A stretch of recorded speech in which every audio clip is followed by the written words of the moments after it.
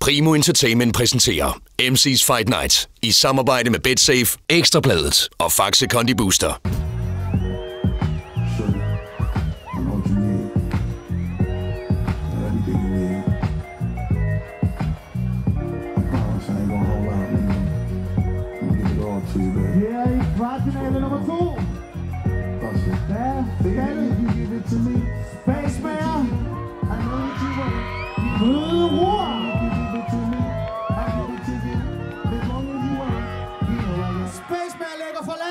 Vi vil gerne have et emne fra vores emnegenerator. Kærestepar ramt af vandmelon på motorvej. Yo! Jeg roer, du er latterlig Han fattig er en lærne der kernefri Ja, yeah, for du har ikke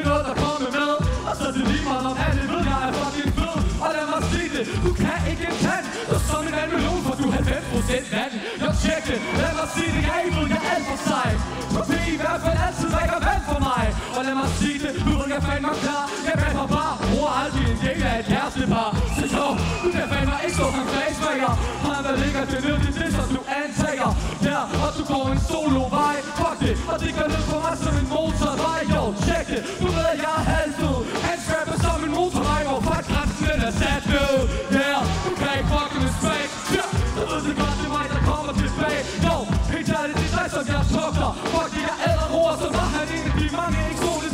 frugter Men check det, det er det, som jeg tænker Og din musik, den har ikke så mange æbler Yo, check det, lad mig sige det Ja, de kan bare dukke Og har alle sammen nu i kaster med råden frugt tak til Spacemager! Huh. Vi skal se på emnegeneratoren. Emnegeneratoren, som jo bliver fyldt op med emner, som folk sender ind på sms. Det vender vi tilbage til lidt senere. Emnet det er, derfor fungerer jeg ikke uden publikum. Sure.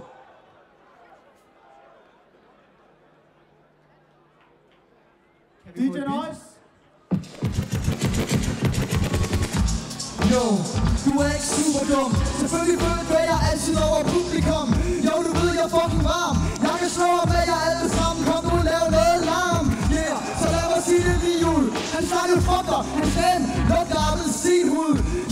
og jo, du er mega grim Tillykke, han har fået en kæreste Hey homie, hvad hedder han? Jo, så alle ved, at du er en homo. Til kammerat, jo, du ved, jeg gør det solo. Jo, men jeg gør det vildt smart. Og det er med og uden publikum for dig, så er det lige meget. Jo, om det er nutid eller datid. Homeboy, du er sgu væk for altid.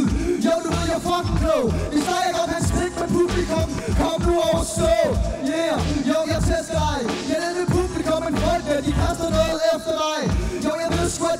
at De kaster ting efter dig, jo, de kaster masser af frugter.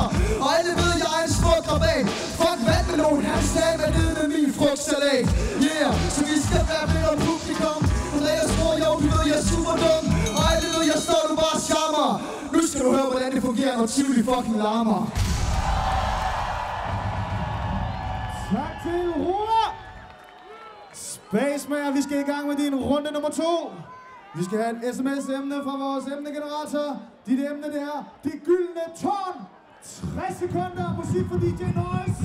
Jo, nu skal jeg høre, hvordan de larmer Publikum som ikke til han sejr til den første københavner Hvad? Jeg siger det bare, for jeg er sygt Hvad er de? Jeg er så slut på mit gyldne tårn Når det var sige jeg fucking fed Han niveau er som en gyldne tårn Og kæft, for det går op og ned. Og lad mig sige det, du sætter op til skolen. Fuck, du ikke op, men du er op imod det polen Og lad mig sige det, du er ikke engang en skub. At være med mig, det er sådan et permanent loop. Tjek det, du ved, jeg giver dig en med. Det kaster som din mor. Mod mig, så er hun nede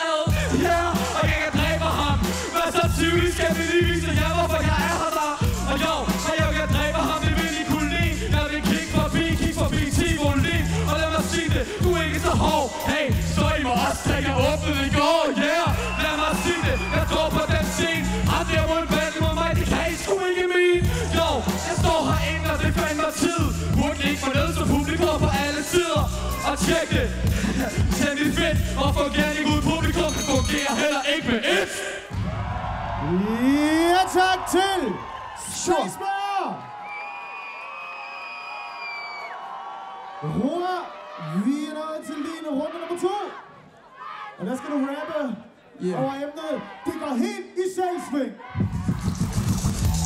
Yo, det går jo helt i selvsving Homeboy, yo, så var du bare en sækning Jo, jeg har den værste magt I de synlige tårn, hvor jeg min søster Og vi svinger kæreste kærestetak Yeah, yo, og du er tyk til fest. Du gynger fremad, du ligner skudt en gyngehest Jo, men jeg er ikke sorte bær Jeg vil ønske, at var i det gyldne tårn. En dag, hvor der er tordenvejr Yeah, yo, for du er sgu sygt fed. Men da jeg tror, yo, du ved, du ligger lynet Jo, du ved, du fucking stør. Det er godt fucking selvsving For jeg får jo publikum op og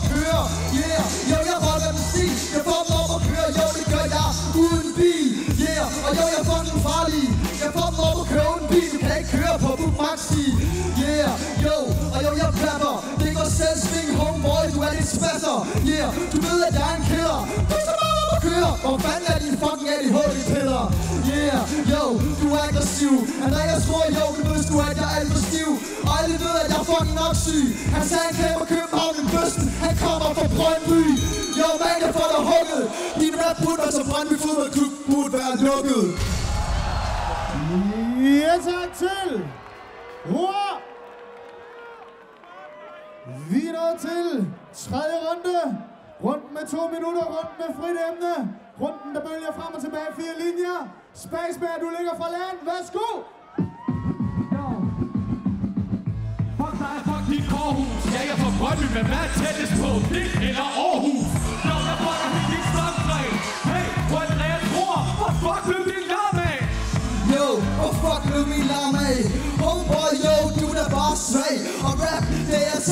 Til Ja, jeg er fra Aarhus, og det er for sjovt Jeg har rappet sammen med LOC Du har rappet sammen med LOC Du er den klar med tos Jeg var her også i går, så det har jeg også.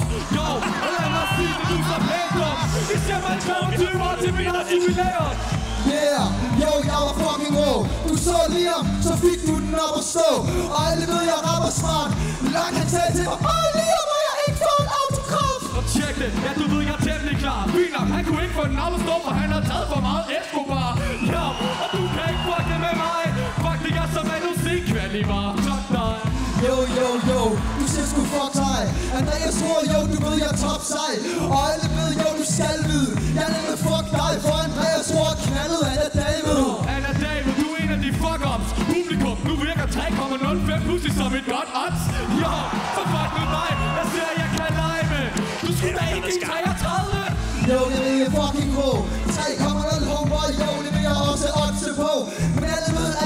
at fortalte det Du er fucking god aften, homeboy Jeg håber, du vinder den præmie. Du håber, jeg vinder den præmie. Ja, du ved det godt, at jeg kan give den en tand til Jamen, du ved, at du kan stamme. Din kæreste, hun havde faktisk også oddset på mig. Hun havde i hvert fald spillet på den lange. Oh shit, yo, du ved sgu ikke, jeg sange Yeah, du ved, jeg tyser Hey homeboy, yo, jeg? Ved, at du spillede på når de krydser Jo, jeg publikum giver den larm, og nu er smags på. Hvorfor giver han mig ikke noget at svare tilbage på? Og jeg forstår det. Fuck dig er dit nye navn. Men er det der pludselig reagerer i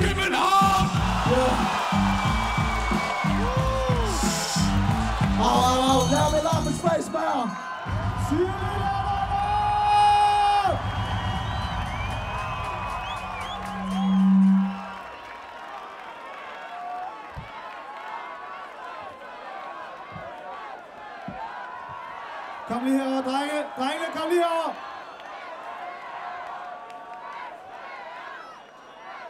Kom her, kom her, kom her.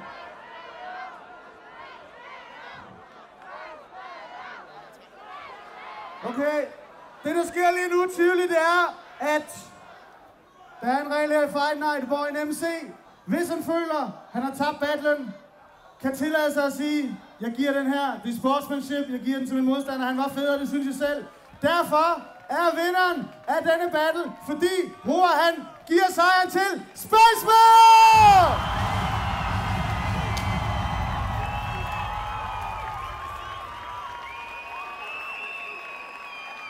Det er stort mod, det er mandsmod, det er god stil.